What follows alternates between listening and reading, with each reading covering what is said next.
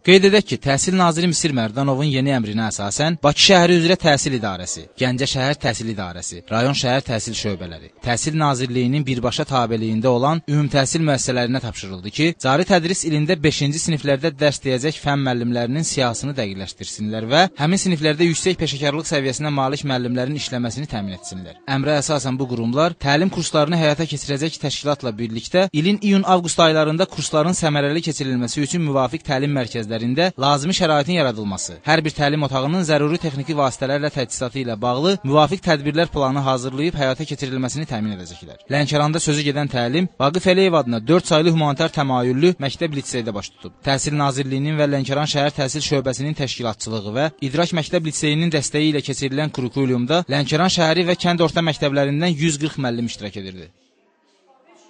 Hazırda 4-cü siniflərdə kurikulum islahatı üzrə təlim e, müddəti başa çatıb. Bu il 5-ci siniflərdə dərs deyən müəllimlər, e, yəni kurikulum proqramları ilə işləyəcək və bu, biz də bu səbəbdən burada müəllimlərlə təlim kursu keçiririk və təlimlərdə iştirak eləyirik. Çox gözəl təşkil olunmuş və 140 nəfər təlimçi təlimlərdə iştirak edir və hal-hazırda müəllimlərin səviyyəsi də bizi qane edir. Həqiqətən də onların həm dərsə davamiyyəti, həm kursun materialının mənimsəməsi bizim üçün çox sevindirici bir nəticələrin olduğunu göstərir. Kursa cəlb edilən müəllimlərinin orta yaş həddinə gəlincə, təlim rəhbəri Nabat Cəfərova bildirdi ki, ümumilikdə respublika üzrə keçirilən təlimlərdə gənc müəllimlərlə yanaşı, qocaman müəllimlər də iştirak edir və onlar tədris prosesinə yeni metodların tətbiqinə böyük səylə yanaşırlar.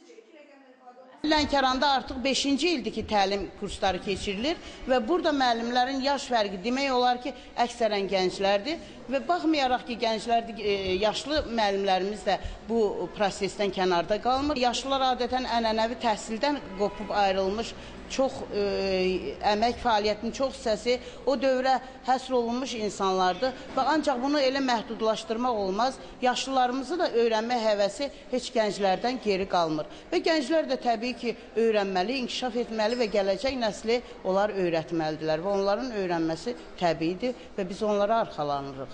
Qeyd edək ki, təlim kursunu uğurla başa vurmuş müəllimlərə Təhsil Nazirliyi tərəfindən müəyyən edilmiş vahid formada sertifikat veriləcək. Avqust ayına kimi 5 iqtisadi zona üzrə keçiriləcək təlimlərə ilkin hesablamalara görə 60 mindən çox müəllim cəlb olunacağı proqnozlaşdırılır. Təlimlərin təşkili ilə əlaqədar yerli təhsil orqanları da məsuliyyət daşıyırlar. Ənvər Quliyev, Əlizamin Şabanov, Lənkəran.